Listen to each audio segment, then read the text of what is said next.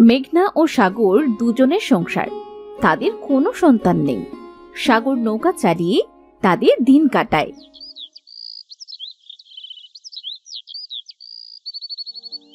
এই নাও এই পান্তা ভাতগুলো খেয়ে তারপর নৌকা চালাতে যাও। আজকেও সেই পান্তা ভাত। কি আর করব বলো? আমাদের যে রোজগার সে রোজগারে যা হয় তাই তো খাওয়া লাগবে। আমাদের অবস্থা নুন আনতে পান্তা ফুরায়। তাহলে আমাদের মাছ মাংস খাওয়ার চিন্তা করবে কি হবে বলো? কবে যে একটু বেশি টাকা রোজগার করতে পারব একটু ভালো মন্দ খেতে পারব তোমার কোনো ইচ্ছাই তো পূরণ করতে পারি না। বিধাতা কবে যে মুখ তুলে চাইবেন আমার দিকে। কি আর করবে তুমি বলো? চেষ্টা তো আর কম করো না। দেখো একদিন ঠিক সুদিন আসবে। এইসব ভেবে আর কষ্ট পেও না। তাও আমারও তো ইচ্ছে হয়। তোমাকে ভালো মন্দ খাওয়াতে পড়াতে। আল্লাহ যখন তোমায় তৌফিক দিবে তখন আমাদেরও সব হবে। আচ্ছা যাও এখন নদীতে নৌকা নিয়ে যাও। অনেক তো বেলা হলো। আচ্ছা তুমি তাহলে সাবধানে থেকো আমি যাই।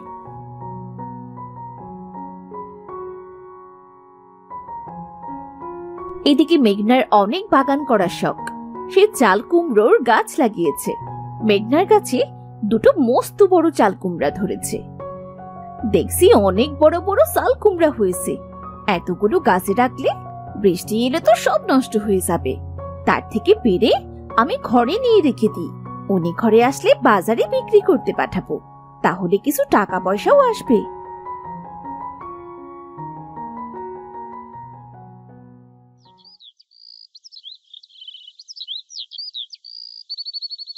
তারপর সাগর বাড়িতে আসে। কই গো শুনছো? একটু পানি দাও। যা গরম পড়েছে আষাঢ় মাস চলে যাচ্ছে। আকাশে কোনো মেঘের দেখা নেই। মেঘনা সাগরকে পানি দেয়। সাগর এক নিঃশ্বাসে সবটুকু পানি পান করে। আর মেঘনা সেখানেই দাঁড়িয়ে থাকে। কি হয়েছে বউ? কিছু বলবে?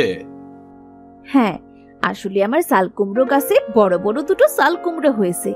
সাল কুমড়ো দুটো বাজারে বিক্রি করে দিয়ে আসো তো। তাহলে কটা বাড়তি পয়সা আসবে। বৃষ্টির দিনে মাছের মাথা দিয়ে চাল কুমড়ো খেতে যে কি মজা। আর আমাকে তুমি বিক্রি করতে পাঠাচ্ছ। আমরা আবার মাছ পাবো কোথায়? সে মাছের মাথা দিয়ে সাল কুমড়ো রান্না করব তার সে বিক্রি করে দেওয়াই তো ভালো। হ্যাঁ তাও তো ঠিক কথা। আমার খুব ইচ্ছা করছে জানো মাছের মাথা আর চাল কুমড়োর তরকারি। সাথে গরম ভাত খেতে। হ্যাঁ আমি তো জানি মাছের ঝোল ভাত তোমার খুব প্রিয়। কিন্তু কি করব বলো তো? আমাদের কি মাছ কেনার মতন টাকা আছে নাকি? আমাদের অভাবের সংসারে আবার প্রিয় অপ্রিয়। দুবেলা নুন ভাত পাই এটাই অনেক। আচ্ছা থাকো আমি তাহলে বাজারে যাই। কুমড়াটা বিক্রি করে আসি। তাহলে তো অন্তত কটা টাকা পাওয়া যাবে। হঠাৎ বৃষ্টি শুরু হলো। এই বৃষ্টির মধ্যেই বাজারে যাবে? আচ্ছা একটা শাল কুমড়ো তুমি বিক্রি করে মাছ কিনে আনো আর আরেকটা শাল কুমড়ো দিয়ে মাছ দিয়ে রান্না করব না হয়। হ্যাঁ যাই ঘরে বসে থেকে আর কি করব? চাল কুমড়াটা বিক্রি করতে পারলে কিছু নুন ভাত জুটে যাবে। আর যদি মাছ না পাই তবে কুমড়োটাই না হয় নিরামিষ তরকারি হবে। কি বলো?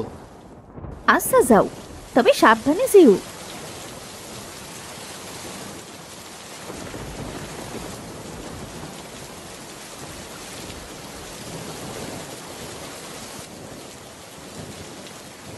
তারপর সে বাজারে গিয়ে কুমড়োটা বেশ ভালো দামে বিক্রি করে। এরপর সে তার জেলে বন্ধুর কাছে গিয়ে সেই টাকা দিয়ে একটা মাছ কিনে আনে। বন্ধু, আজকে বাজারে মাছের দাম কেমন? বন্ধু আজকে বাজারে বিক্রি খুবই কম। বৃষ্টির জন্য বাজারে মানুষজন তেমন একটা নেই। তুমি একটা মাছ নিতে পারো তবে বেশি দাম নেব না তোমার কাছে। বন্ধু আমার কাছে বেশি টাকাও নেই। তুমি এই টাকার মধ্যে আমাকে একটা ভালো দেখে মাছ দাও দেখিনি। আচ্ছা বন্ধু এই নাও। আমার বন্ধু যখন খেতে চেয়েছে তাহলে এই বড় মাছটাই নাও। তোমার কাছে যা টাকা আছে তাই দাও। তোমাকে অনেক অনেক ধন্যবাদ বন্ধু। এই বৃষ্টির মধ্যে অনেক মাছ খেতে ইচ্ছে করছিল। কিন্তু গরিব মানুষের কি আর শখ আছে? তুমি আমাকে অনেক উপকার করলে। হ্যাঁ বন্ধু। বাড়ি গিয়ে মজা করে মাছ ভাত খাও। কেমন? তারপর মস্ত একটা মাছ কিনে সাগর মাছি। জেলে বন্ধুর কারণে আজকে মাছটা ভালোই সস্তা পেলাম। আর পাবোই না কেন? একেই তো বৃষ্টির দিন। বাজারে খদ্দের নেই। এখন বাড়িতে গিয়ে বউকে বলব এটাকে কুমড়ো দিয়ে রান্না করতে। আহ জমিয়ে খাব আজ। সাগর মাছ নিয়ে বাড়ি যাওয়ার সময় এক বুড়ির সাথে দেখা হয়। বাবা কেমন আছিস? বাড়িতে মাছ কিনে নিয়ে যাচ্ছিস বলছি। হ্যাঁ বুড়িমা ভালো আছি। তুমি কেমন আছো? হ্যাঁ বললাম বৃষ্টির মধ্যে চাল কুমড়ো দিয়ে মাছ খেতে ইচ্ছে করছিল। তাই একটা চাল কুমড়ো বিক্রি করে মাছ কিনে নিয়ে যাচ্ছি গো। আমারও বৃষ্টির মধ্যে মাছ খেতে বড্ড ইচ্ছে করছিল। বৃষ্টির মধ্যে মাছের দোকানে গিয়েছিলাম কিন্তু কোনো টাকা নেই বলে কিনতে পারিনি। বুড়িমা তোমার কেউ নেই? তুমি কি একাই থাকো? হ্যাঁ রে আমার তিন কুলে কোনো আত্মীয় স্বজন কেউ নেই। এখন বুড়ো হয়ে গেছি তো। নুন ভাত আর এই শাক সেদ্ধ মুখে রোচে না একটু ভালো মন্দ খেতে ইচ্ছে করে। কিন্তু বিধবা এই বুড়ির খোঁজ কে রাখবে বলো তো বাবা? হ্যাঁ বুড়িমা আমাদেরও একই দশা। একটু মাছ ভাত খেতে ইচ্ছে করে কিন্তু টাকার অভাবে নুন ভাত খেতে হয়। কতদিন পরে যে মাছ কিনেছি তার কোনো হিসাব নেই।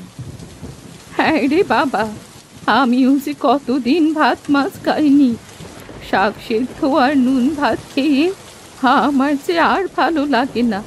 বুড়ো বয়সে একটু ভালো মন্দ খাব কিন্তু আমার কপাল যে এত ভালো না।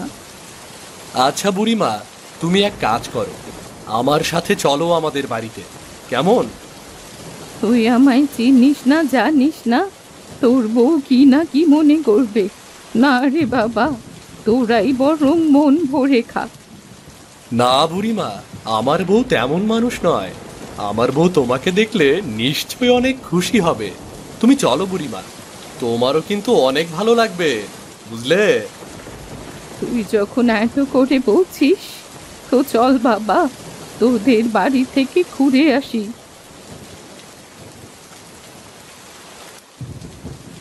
সাগর বুড়িকে মেহমান বানিয়ে ঘরে নিয়ে যায়। দেখো বউ আমি কাকে সাথে করে নিয়ে এসেছি? এটা কি? ওনাকে তো চিনলাম না। এই বুড়িমার কেউ নেই।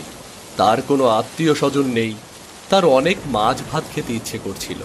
তাই সে বাজারে মাছ কিনতে গিয়েছিল। কিন্তু টাকার অভাবে কিনতে পারেনি। আমার সাথে রাস্তায় দেখা হলো।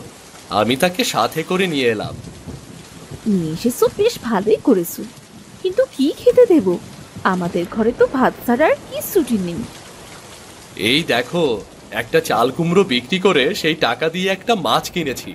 এখন আমরা চাল কুমড়ো দিয়ে মাছ রান্না করে বৃষ্টির মধ্যে মজা করে খাব। আচ্ছা ভালো করেছ। দাও আমি রান্না করে নিয়ে আসি। তোমরা দুজনে বসে গল্প করো গে। আচ্ছা ঠিক আছে। তাড়াতাড়ি রান্না করে নিয়ে আসো তো আর সহ্য হচ্ছে না। চল রে মা আমিও তোকে সাহায্য করছি। তারপর মেঘনা যায় রান্না করতে। সে জমিয়ে মাছের মাথা দিয়ে চাল কুমড়ো রান্না করে আর মাছের ঝোল করে। মাছটি কি ভালো এনেছো? আহ, আর আমার কাছে চাল কুমড়ো। এই তরকারিটা প্রায় হয়েই এলো। আপনি হাত মুখ ধুয়ে আসুন বুড়িমা। আমি আপনাকে এক্ষুনি খেতে দিচ্ছি। এই তরকারিটা নামিও না বউ। অল্প আছে ঢাকনা দিয়ে রেখে দাও। খাবার দেবার সময় হাঁড়িটা সামনে থেকে ঢাকনাটা তুলবে। দেখবে মাছের ঝোল দিয়ে ভাত খেতে কি ভালো লাগে। বাহ বুড়িমা আপনি তো বেশ ভালো কথা বললেন। আপনি নিশ্চয়ই ভালো রান্না করতে পারেন। পারতাম রে মা। এখন আর শক্তি কোথায়? যে রান্না করব দুটো ভাত ফুটিয়ে খেতেই তো হিমশিম হয়ে যায়। আপনি কি চিরকাল একাই ছিলেন নাকি বুড়িমা? নাকি এখন একা হয়ে গেছেন? আগে আমার ভরা সংসার ছিল রে মা। মাছের চোল আর ভাত ছাড়া কারও পাত পড়তো না। কত পদে রান্না সে হতো আমার হেসেলে ঘর ভরা মানুষ কাজেরও লোক ছিল। কিন্তু নদীর করাল গ্রাস সব কেড়ে নিল মা। সকলে ছুটে গেল। কষ্ট করতে কেবল বিধাতা আমায় ফেলে রাখল। দুঃখ করবেন না মা। যা হয় তা কেবলই কোনো না কোনো মঙ্গলের জন্যই হয়। তরকারিটা নামিয়ে রাখো বউ তলা ধরে চাপেছে কি গো খেতে দাও। মাছের ঝোলের গন্ধে যে আর টিকতে পারছি না। পেটে ছুঁচোগুলো বৈঠক শুরু করে দিয়েছে গো। রান্না হয়ে গেছে। এই দেখো খাবার বেড়েছে খেতে এসো।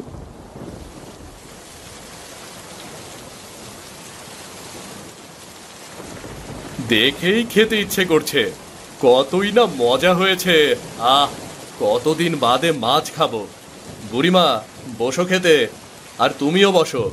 আজকে তৃপ্তি করে খাও। হ্যাঁ রে আমিও কতদিন বাদে মাছ খাব তার কোনো হিসেব নেই। ভাত আর শাক সিদ্ধ দিয়ে খাওয়া লাগে সব সময়। হ্যাঁ বুড়িমা আজকে তোমার যতটুকু লাগে মন ভরে খাও। আচ্ছা নাও এখন তোমরা তাড়াতাড়ি খেয়ে নাও দেখি। গরম গরম খেয়ে নাও বৃষ্টির মধ্যে বেশি মজা লাগবে। তারপর বৃষ্টির মধ্যে তারা মজা করে মাছের মাথা দিয়ে চাল কুমড়ো আর মাছের ঝোল খেত